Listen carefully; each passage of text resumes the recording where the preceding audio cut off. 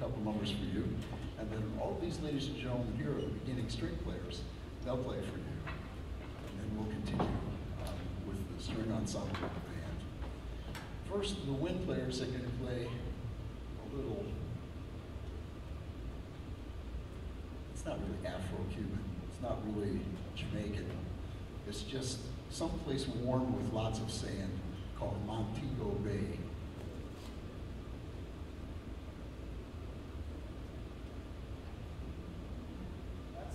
March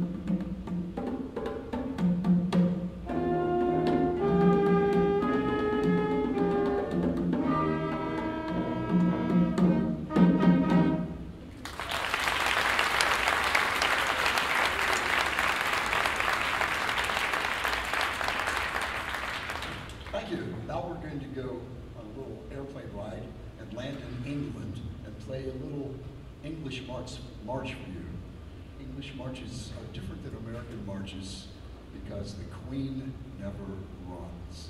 So a little slower.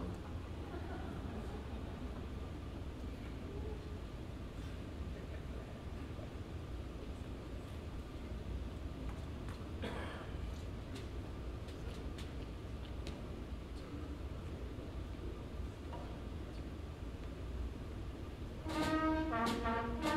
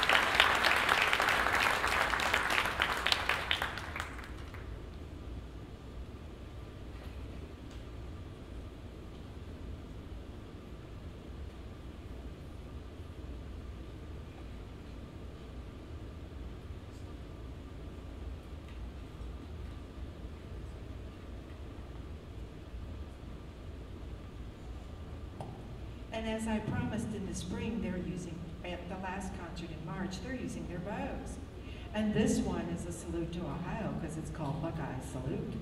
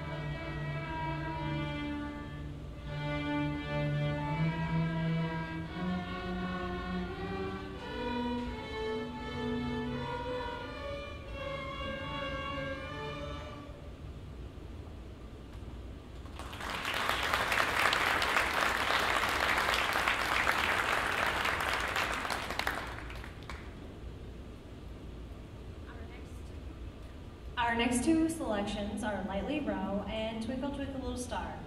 This time, our beginners will not only be playing melody, but harmony and with full arrangement with a full string ensemble.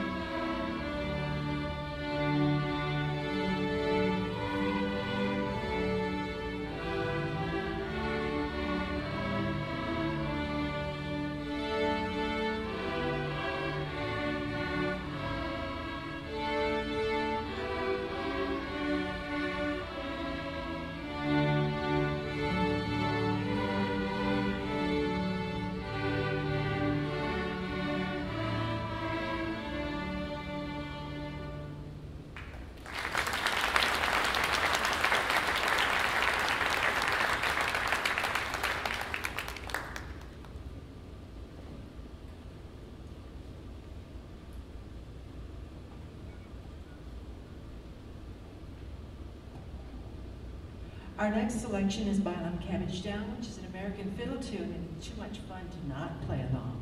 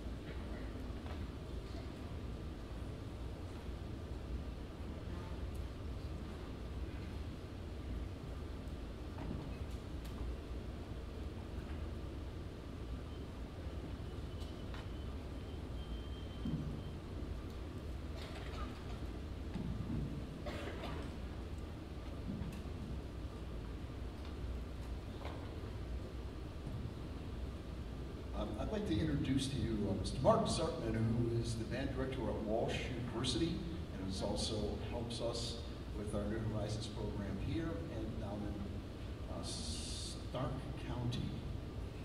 So he's going to conduct the next march. It's called Zodamanwa. Mark Zartman.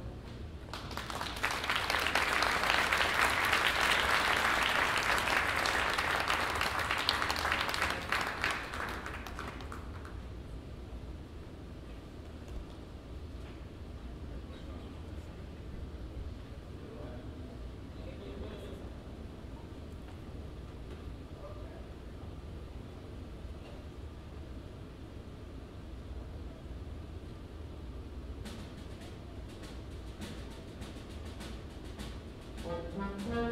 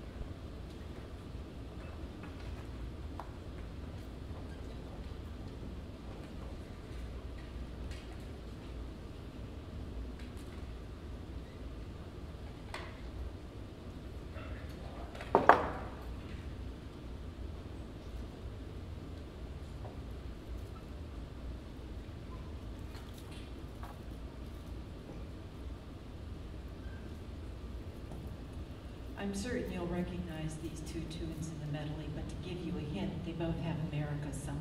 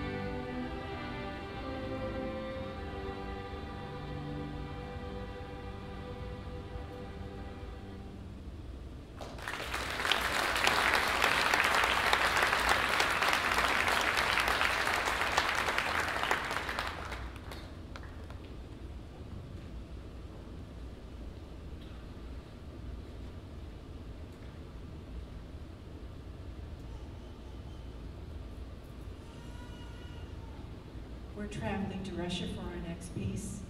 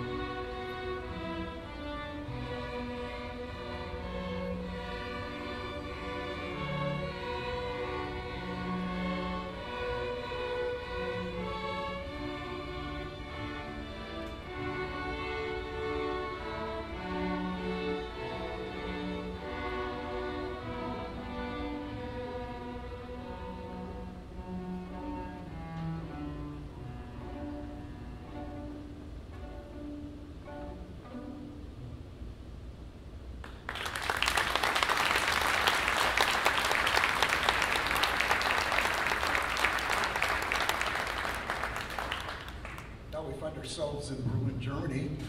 Yes? Yeah? One of Europe's greatest landmarks is the Brandenburg Gate. And in Berlin, it was restored to its original uh,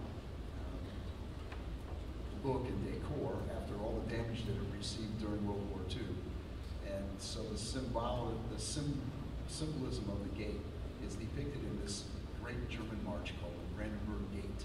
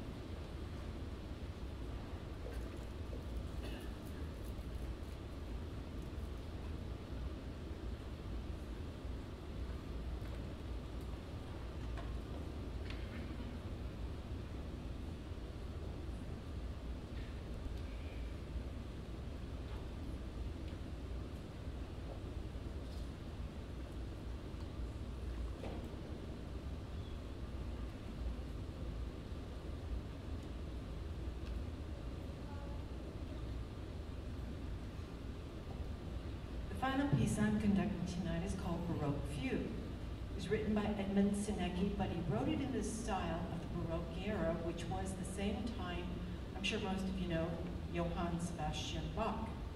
And if you listen carefully, you will hear each section come in with the entrance of the fugue. Fugue is a fancy word for round, but it has a lot more to it than just being around, because each section will come in with their entrance of the fugue.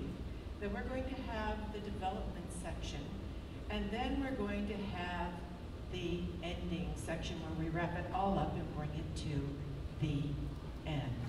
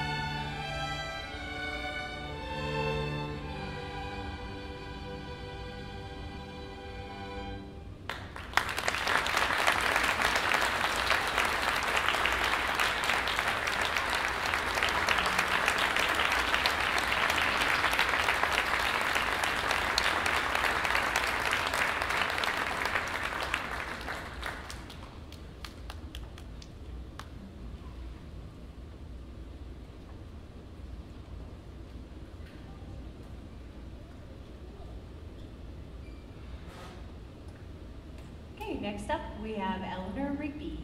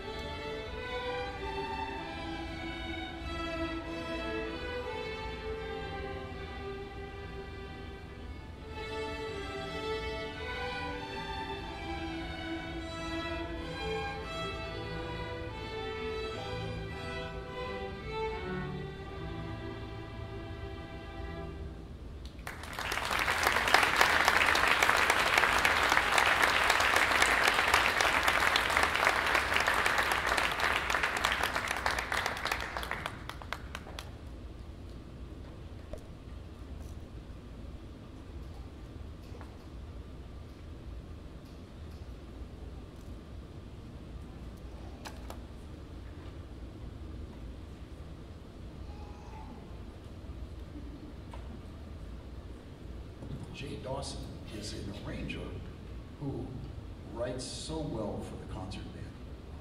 And the next selection we're going to play for you is called American Cameos. And what Jay Dawson did was take some ideas that Copland used in his famous ballet, Rodeo, by taking three American tunes and making these familiar tunes into something special. I'm sure that you'll recognize these three. The first one is called Bonaparte's Retreat. You probably don't know that title, but you'll recognize it when you hear it. The second one is called The Gift to Be Simple, and it's a Shaker tune. I'm sure that you've heard it a hundred times in commercials, if not played by Copland in orchestras in the Appalachian Spring. And the last one's called The Eighth of January. It's a great march, and if you're an old person like me, you heard it in the 60s and 50s. If you want to sing along that, join us.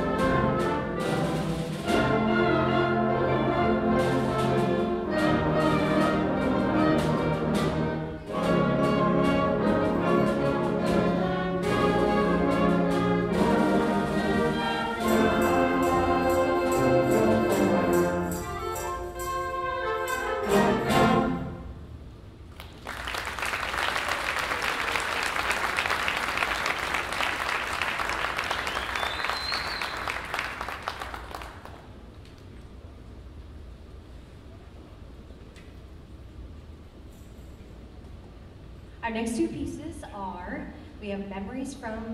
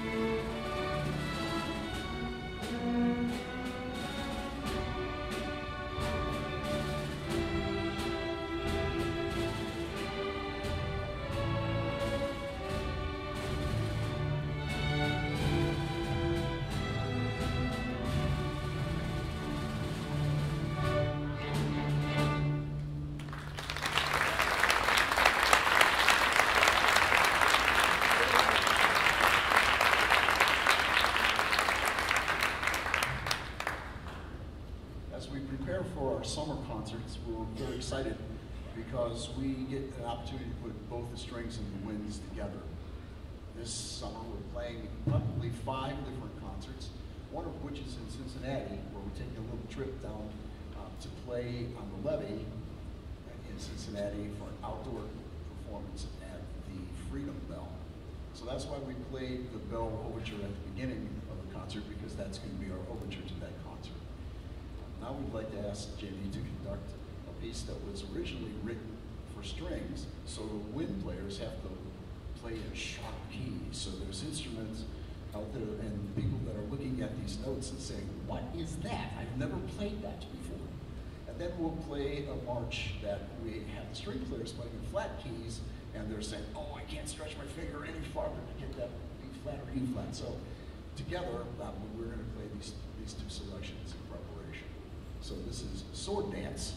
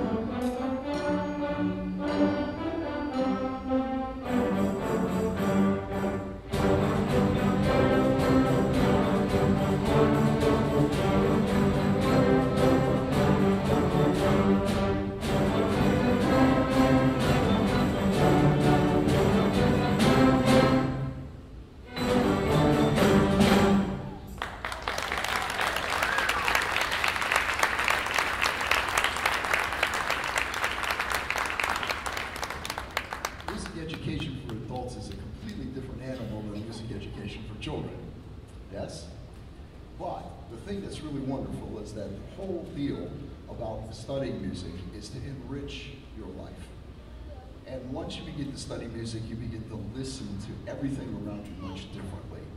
So an opportunity for adults to come together and to make music and to make mistakes and correct them and to play well and play poorly are all life's lessons. So we have beginners that have just started and we have people who have played four, five years and all together they do a pretty good job, don't they?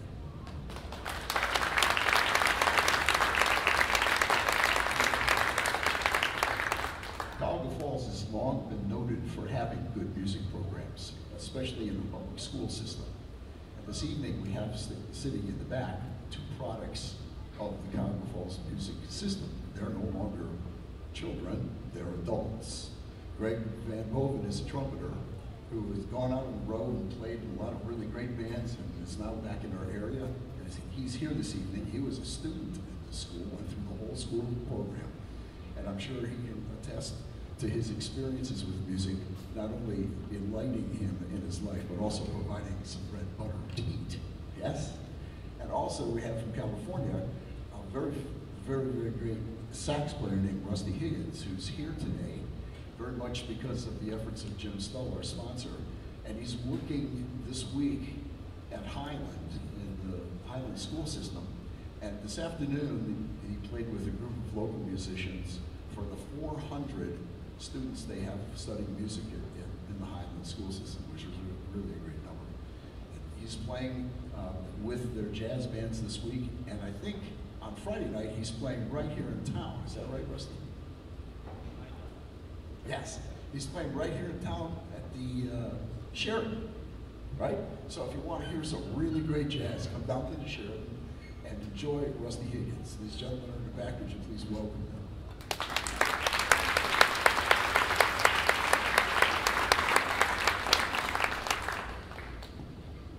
The Thunderer March is one of three that Sousa wrote that actually were written for Masonic functions. The Thunder was written in 1889, and it certainly didn't have strings in it. But now the strings are going to play the Sousa March with us, and we hope you enjoy this is our finale for this evening. Thank you so much, so much for being here, and hope to see you at our performances, especially August the 7th, when we play downtown at the River Square Amphitheater as part of the Cuyahoga Falls bicentennial. So we'll be playing on August 7th, that's a Tuesday night, so we hope to see you all at that time. Thank you very much for being a great audience.